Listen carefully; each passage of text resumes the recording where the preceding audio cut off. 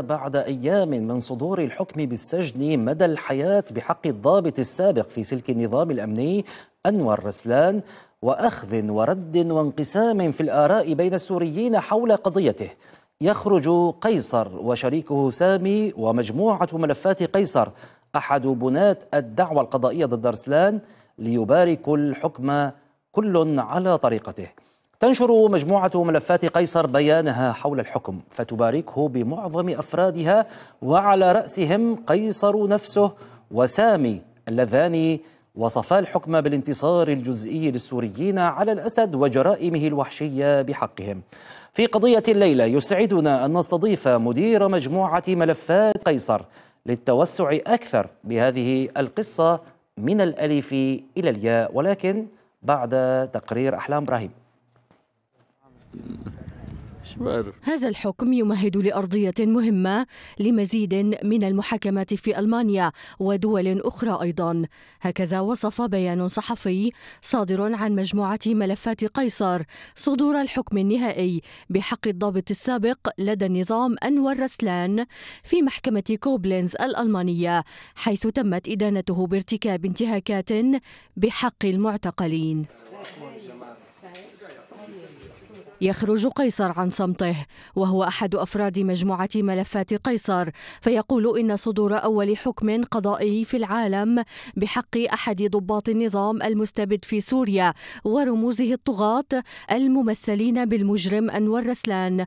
هو انتصار للحق والعدالة أولا وللشعب السوري المضطهد. ويضيف أن القرار بمنزلة بارقة أمل رغم كل الجراح والمآسي التي ما زال يعانيها هذا الشعب الأبي والوفي لقضيته العادلة رغم تحالف كل قوى الشر في العالم عليه.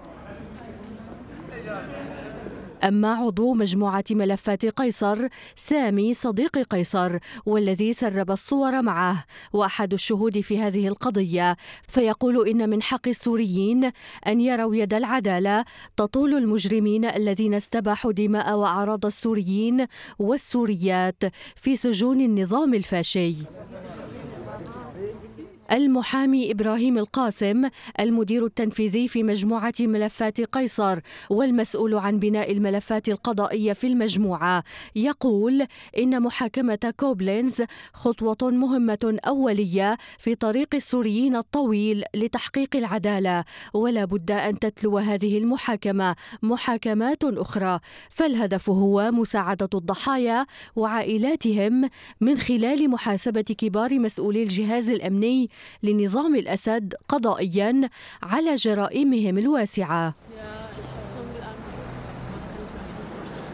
المعلومات والأدلة التي قدمتها مجموعة ملفات قيصر بالإضافة إلى شهادات عدد من أعضائها لعبت دورا أساسيا في فتح التحقيقات في ألمانيا وفرنسا وإسبانيا والسويد والنمسا والنرويج لكن الخطوة الأكبر حتى الآن جاءت من ألمانيا.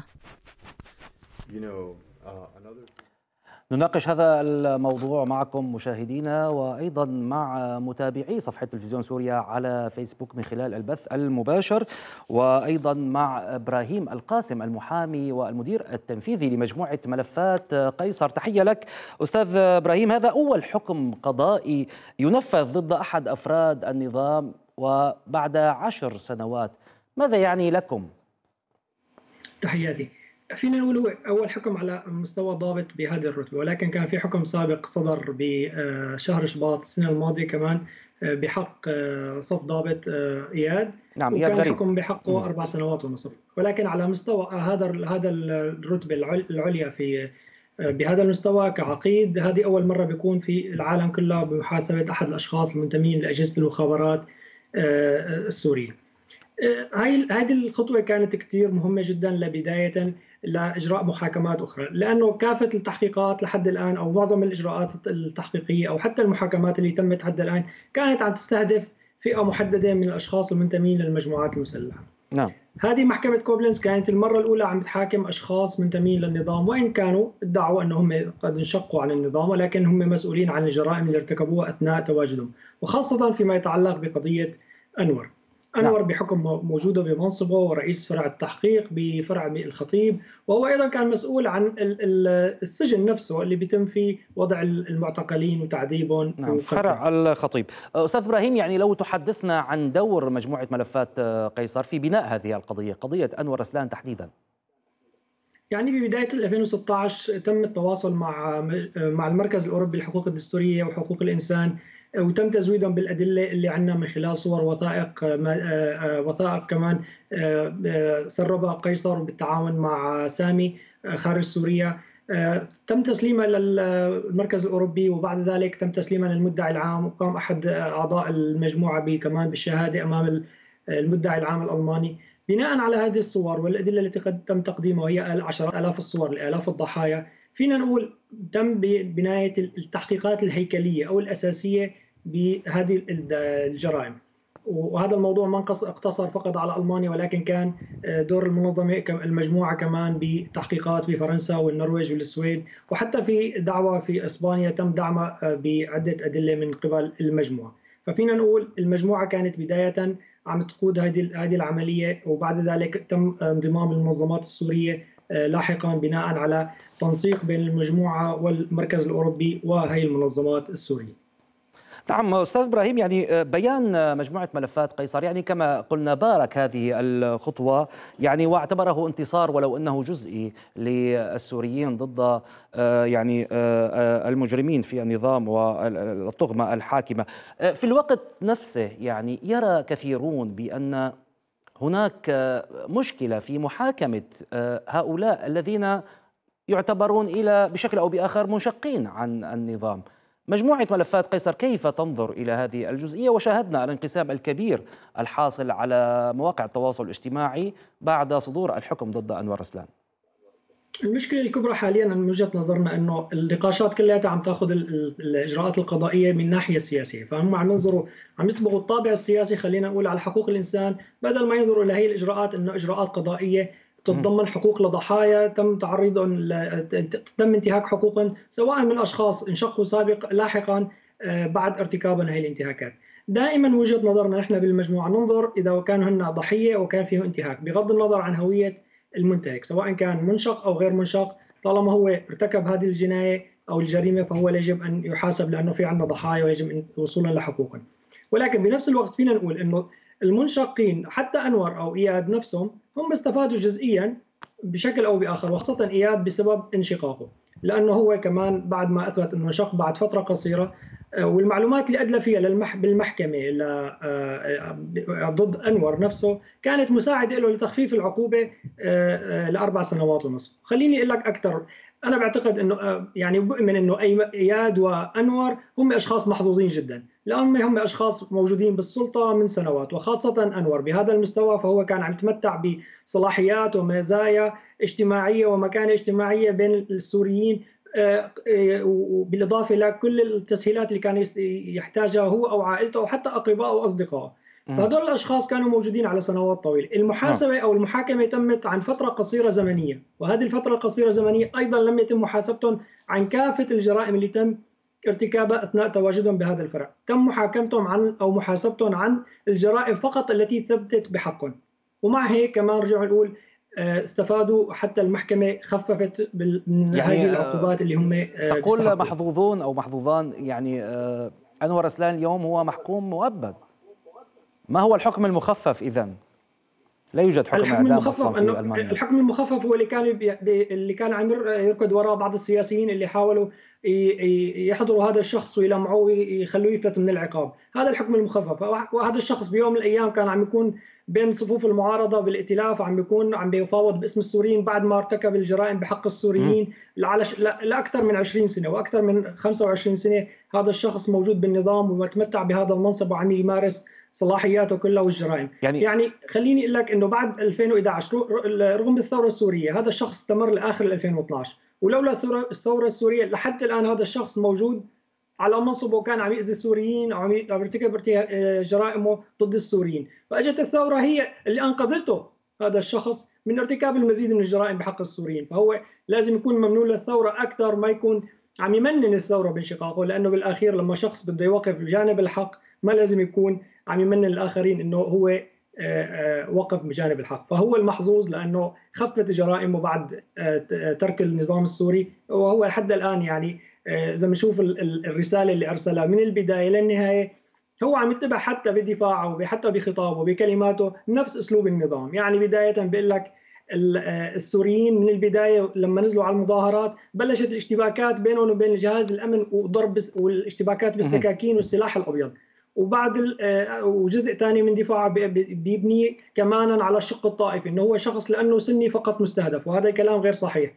آه. لأنه إذا بدنا نحكي بهذا الشق وهذا النفس الطائفي اللي بيستخدمه النظام وأذرعه دائما موجود. فينا نقول علي مملوك أيضا محسوب على على السنة بشكل أو بآخر ولكن بهذا بين قوسين بهذا النفس الطائفي وهو أكبر رجل مخابرات بسوريا والجميع بيعرف دوره السلبي والإجرامي بسوريا. نعم. النقطة الثالثة إذا بنشوفها بدفاعه كمان آخر نقطة هو بيستشهد بآية قانون آية قرآنية نعم. بدفاعه. وما ظلمناهم ولكن كانوا أنفسهم يظلمون نعم. ذكرني بهي الآية القرآنية بصراحة بفرع فلسطين لما كنت موجود بفرع فلسطين شفت آية قرآنية مكتوبة بشكل كبير على على على الدرج للقبول الزنازين تحت وما ظلمناهم ولكن كانوا أنفسهم يظلمون طيب. فهو حتى بدفاعه استمر كشخص من النظام وتصرف كشخص من النظام وما عنده شيء أي طريقة ثانية يدافع عن نفسه إلا بهي الطريقة وكل المجرمين أمثاله اللي ارتكبوا هي الجرائم على على على مستوى كل المحاكمات الدولية دائما بيدعوا إنه هم أشخاص كانوا آه، تحت الضغط وهم أشخاص ما عندهم صلاحيات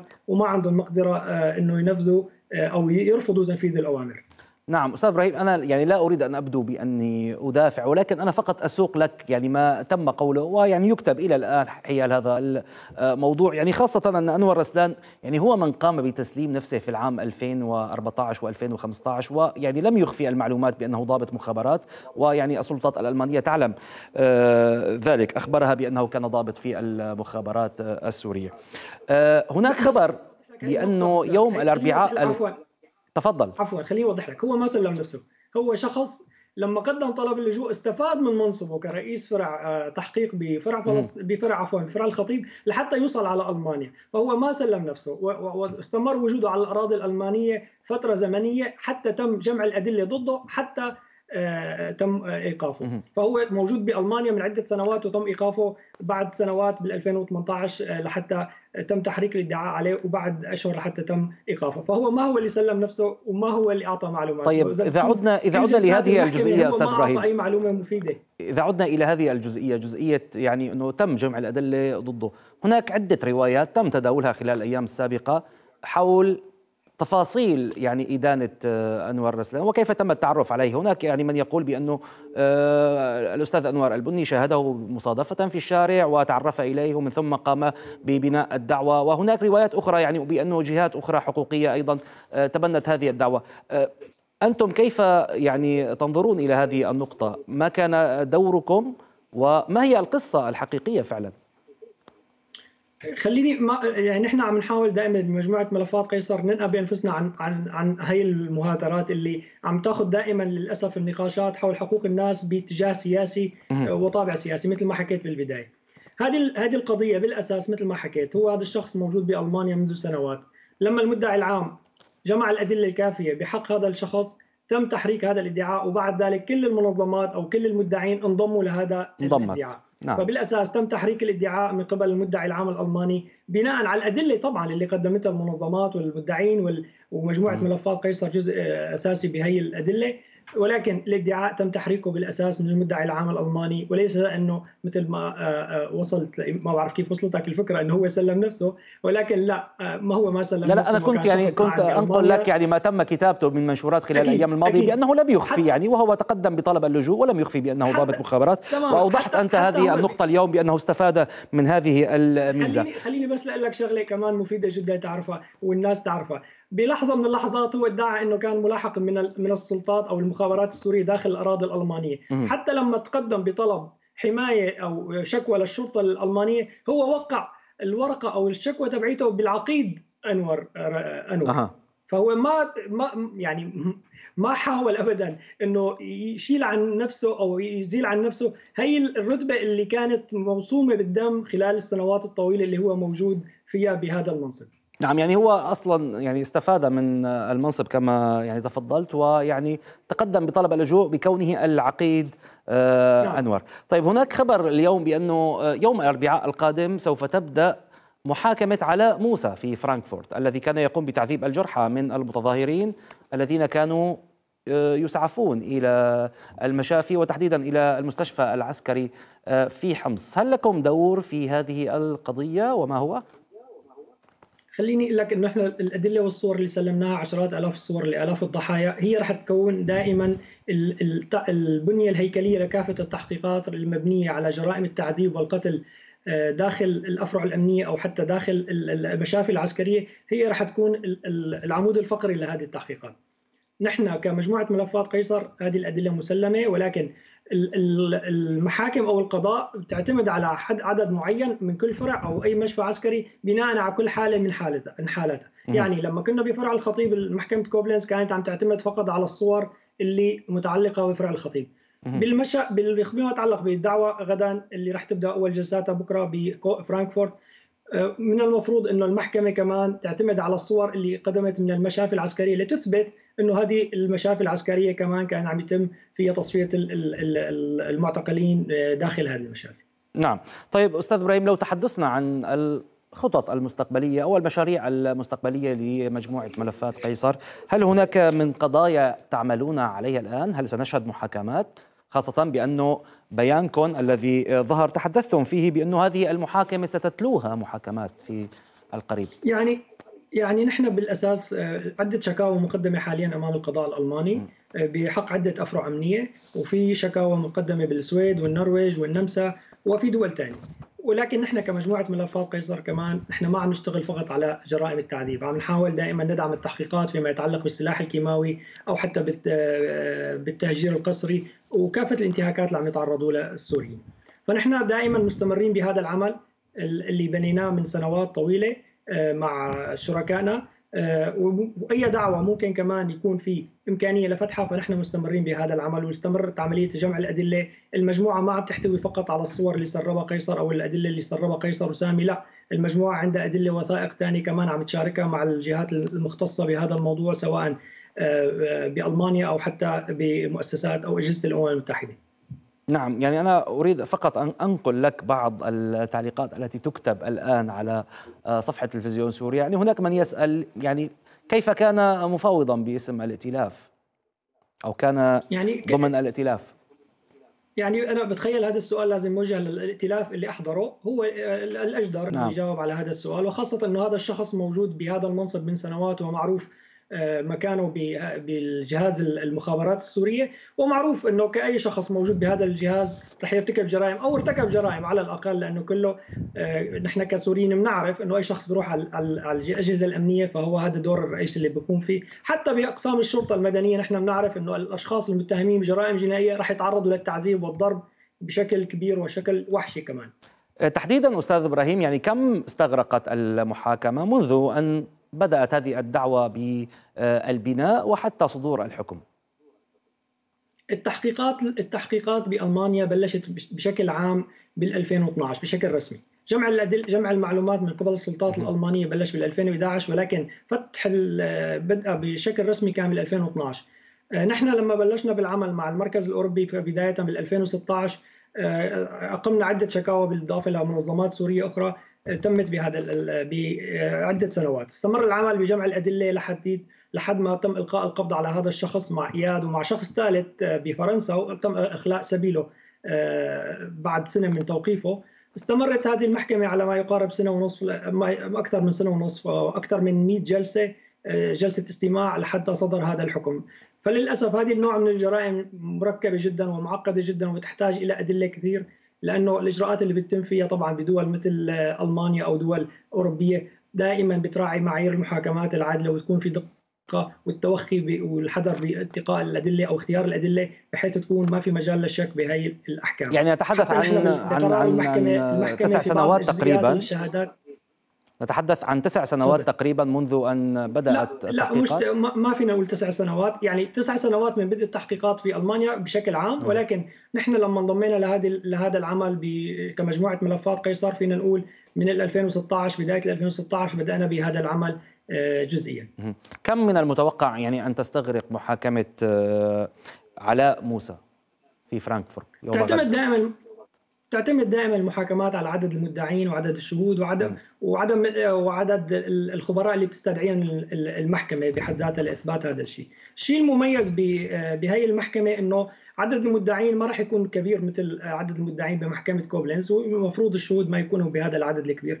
فما بنقدر نحن نحدد بحد بشكل آه، تقريبي وسطيا حتى قديش الجلسات رح تكون وقديش المهلة لأنه الموضوع كمان بظل الكورونا كمان عم يلعب دور آه، تأجيل الجلسات أو اختيار الجلسات أو حتى السماح للأشخاص بالدخول للجلسات والحضور الجلسات.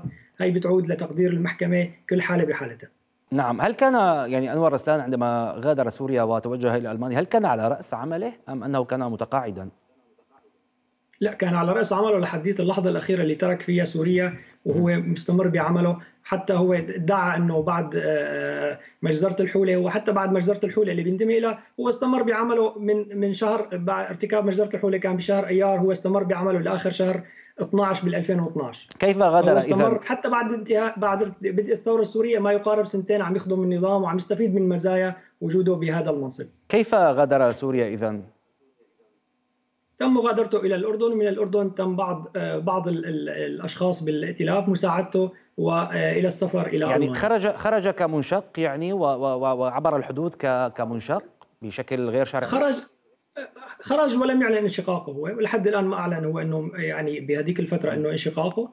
لحديت الجلسة الأخيرة لحتى قدم دفوعه لكان عم يحكي عن الانشقاق ورغبته بالانشقاق. أثناء الجلسة بطولها لم يتحدث ولا كلمة. الكلمة الوحيدة اللي تحدثها بآخر جلسة آه، لما قدم لما قدم دفوعه وأصرت القاضية تسمع إنه هذه المذكرة الخطية اللي تلاها محاميه هي آه، هي يعني دفاعه الشخصي. وقال جاوب بكلمة واحدة هي نعم. فهذا الشخص توجه إلى الأردن ومن الأردن تم مساعدته إلى الوصول إلى ألمانيا. يعني أقصد عندما خرج من سوريا خرج بطريقة غير شرعية. الطريقة ما واضحة بالنسبة لنا يعني ما, آه. ما هو حتى ما أعطى تفاصيل ما أعطى مين الأشخاص اللي ساعدوه آه، بالخروج. وقال إنه تواصلت أنا مع أشخاص آه، منشقين وهم ساعدوني بالخروج.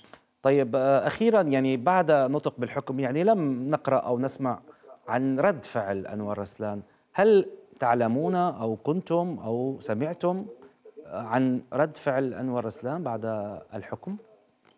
يعني آه، آه، طوال الجلسات الأكثر 100 جلسة هذا الرجل ما تكلم اي ما يعني ما تفوه بأي كلمة، هو دائما بيلتزم الصمت وبيسجل دائما ملاحظاته وبينظر للحضور آه، بنظرة غريبة يعني فأنت بتشوفه هو شخص مستغرب الآخرين وكأنه هو شخص عم بيدعي إنه أنا بريء وأنتم عم تحاكموني، حتى بدفاعه إذا بتشوف هو كان شخص عم بيحكي بطريقة فوقية جدا وأسفه بآخر لحظة بمذكره الدفاع وبآخر يوم من جلسات المحكمة أنا برأيي كان يعني هو تحصيل حاصل لأنه هو شاف إنه يعني المحاكمة ما تمت لمصلحته مثل ما هو بريد أو أو أما لو كان هو من البداية أعطى المعلومات أو أعطى أي معلومات أو أبدأ أسفه من البداية بهذه بهي الجرائم اللي تمت بسوريا آه، من أثناء تواجده كون على ثقة كانت المحكمة ممكن تخفف آه، من عقوبته أكثر من هي العقوبة اللي هو أخذها لحد الآن.